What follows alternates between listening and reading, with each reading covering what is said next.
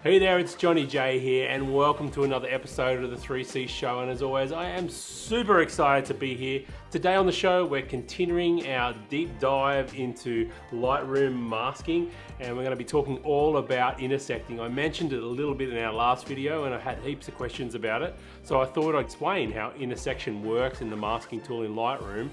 Uh, and I'll give you three examples of how to use it in your landscape and nature photography. All right, let's jump straight into Lightroom and get this show started. All right, let's do it.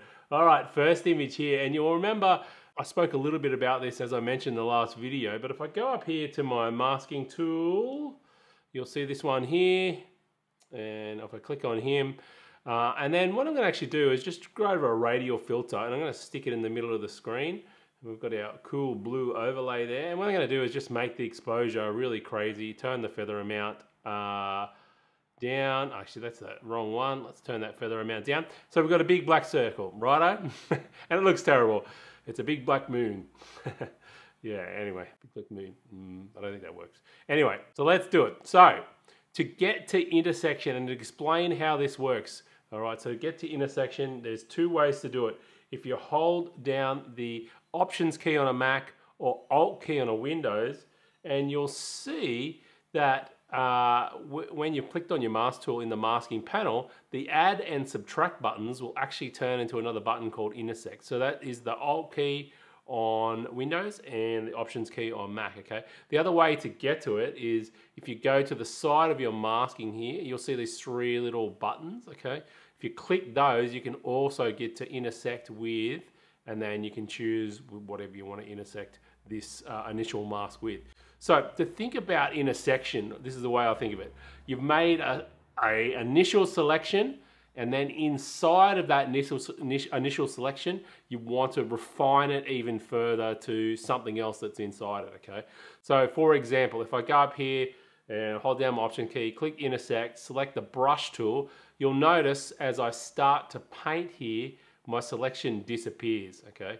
But as I go inside of that selection, you can see I'm starting to brush back just a little bit of that initial selection. So what I've done by intersecting with, with uh, intersecting the initial mask with the brush tool is I'm able to paint back just little parts of that initial selection, okay? So just think of it as a selection inside a selection, okay?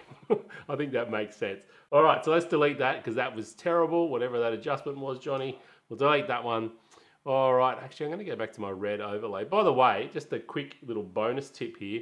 The overlay uh, you can change the color by clicking this little button. So over here, you can click, turn the overlay on and off. That shows you where the mask is. But if you click this little button here, it brings up this color picker and you can actually change the color of uh, your overlay. And um, you've also got this opacity slider here. So if you want it, you know, darker or lighter, uh, sorry, darker or lighter, you can move this opacity slider around as well. All right, let's close that. Let's get into the tip. Otherwise, I'll just keep giving tips before we actually get into the show. when we're here to actually learn. All right, let's do it. So let's uh, let's delete this mask here. And let's go back and we're going to create our initial mask. So this time what I'm going to do is I'm going to start with a sky selection. And boom, there's our sky selection. And actually, I think I turned the opacity of the overlay right down. So there we go. There's our sky selection. So I might put it back to somewhere there. Yeah, that's good about 70% will have the opacity. Um, so there's our sky selection, it's pretty good. And you remember last time I said, you know, if we go ahead and start to pull that exposure down and do our usual things, we add a little bit of clarity and a little bit of dehaze and, and maybe we want to just warm up the sky a touch here. So you can see you get this ugly transition here. And uh, we really want to avoid that because it looks unnatural. And not only that, um, because of our initial sky selection, you'll find where you have areas like this here, uh, you'll start to get some halos around them as well, okay? So we definitely want to try and avoid that. So while Lightroom did a great job with our initial sky selection, what we want to do is bring up our masking panel again. And, uh, and oh wow, that yellow looks terrible. some reason I bumped that slider up to the wazoo. All right, let's bring up our masking slider again And what I'm going to do is actually zoom out on the picture a little bit here. And uh, we're going to go to our uh, intersect tool. So we click on the mask, we hold down the options key again, we go intersect. This time we're going to intersect with a linear gradient, okay? And then I'm just going to draw my linear gradient over top um, to soften that transition down onto that horizon line, okay? And if we turn on the show overlay for that, you'll see, when it loads up, you'll see that we've now made a gradient selection inside of our initial sky selection and that's really important okay? But what I want to actually do this is another powerful thing is I want to actually have the gradient on a bit of an angle because we do have this light coming in here and I don't want to darken that down. I don't want to affect that too much. I still want that light to come in but I still want that soft transition on the horizon line there and I still want a soft transition around the top of our rock because that's going to eliminate that halo effect. So if we turn off that overlay now, you'll see, uh, if I zoom in here a little bit, you'll see we've got a much better transition. You know, we could probably darken things down, a little bit of exposure, a little bit more, pump up the contrast a little bit more, you know, probably a little bit more dehaze there just to get a bit more punch in that sky. But you'll see it looks a lot more natural. So if I was to turn that linear gradient off, and you can see they've got the halo back. Oh, terrible. Back on. What a difference that makes. What a difference. So, yep, that's the first thing. Uh, first little tip I have for you. All right, moving on to the next image. Let's do it here. All right, we've got this lovely black cockatoo. Now, I want to enhance the yellow part there. I want to bring some saturation, some color into that area, okay? So I, I reckon if I was to just go ahead and do a color range selection on that, it's probably going to bleed over into the background there a fair bit and it has, you can see, and even if we turn down the amount, we're still going to have issues because there's yellow tones from the light uh, landing on all the leaves and that in the background, okay? So that's not going to work. So what we want to do is hit subject selection and let's see how Lightroom goes here. It's done a really good job of selecting that subject, okay? And then we're gonna go up here, click in our masking panel again, hold down the option key, click and intersect with a color range. And now I'm gonna select that yellow color. And let's just see here how Lightroom goes. Oh, that's not bad. But up here, we can adjust, we can refine that. You know, we've got this slider here called refine. And if I move that to the right, it's gonna help feather out that area slightly because I don't want a hard transition on the edges there. Everything you do, you know, every adjustment you do, you just want to make it nice and subtle, okay? So I think that's made a lovely selection there. I'll just zoom in on the cocky so we can see what's exactly going on. That's a nice selection there, that, that yellow spot on his head. Now, what I want to do is just bring some saturation into that. Let's just saturate it up a bit and bring that color up. Maybe I just want to brighten that a little bit as well, just a little bit there. And um, yeah, you can see, let's do the before and after. So before, after, before, after. Yeah, so that's good. It's just bring after. It's just bringing a little bit of yellow color into there and it's just a great way, you know, with that subject selection, then refining it further with intersection. It's helping make that adjustment uh, way easier. And I could do the same thing with the redness around his eye. Maybe I wanted to bring that up as well. So great, great use there of intersection with a wildlife shot. All right, let's have a look at this fella. We've got the rolling hills. I'll just zoom out here so you can get a look at the image. We've got the rolling hills here. We've got some uh, really greatly, awesomely placed cows. I don't know how that was set up, but anyway, this is quite an old photo that I just reprocessed. But um, yeah, so say I wanted to enhance this light, you know, say I wanted to bring some more light into this area here, you know, but I don't want it to affect the shadows, okay? So what I can do here, again, go up to our masking tool, go down to a, a radial filter, okay? And I'm just gonna make a nice big radial filter here. And you can see I've zoomed way out on my photograph because I just want this to imitate that light that's coming in there on the left, okay?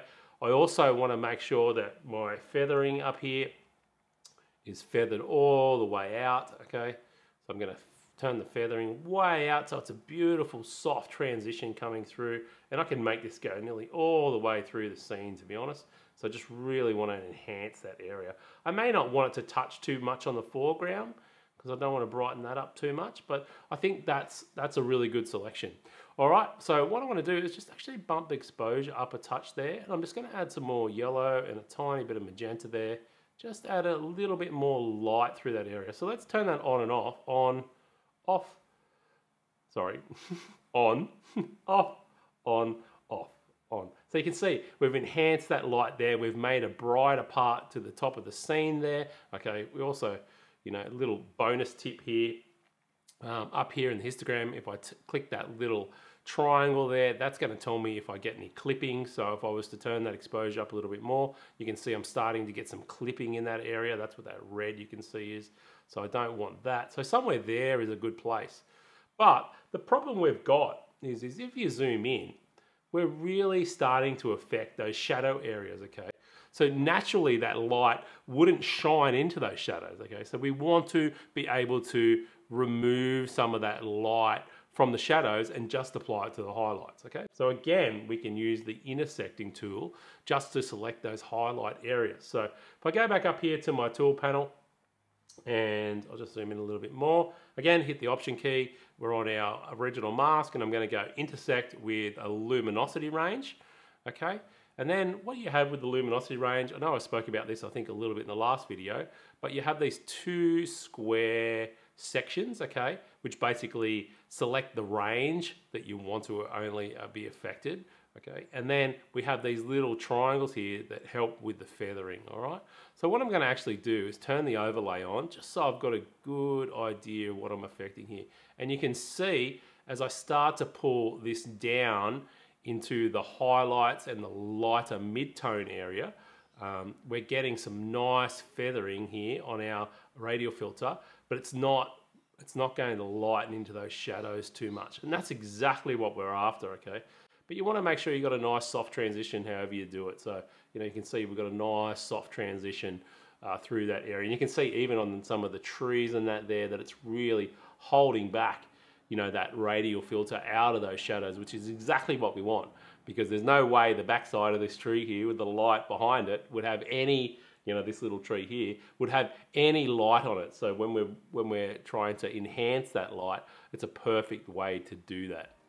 That's all I had guys. I hope that was helpful. I hope that explains how Intersect works in Lightroom. It really has opened up an amazing amount of localized, localized adjustments we can do and the possibilities really are just endless. The fact that you can create a mask out of any of the tools and intersect them with any of the same tools just opens up this world of possibilities of adjustments that you can do in Lightroom uh, with, with masking.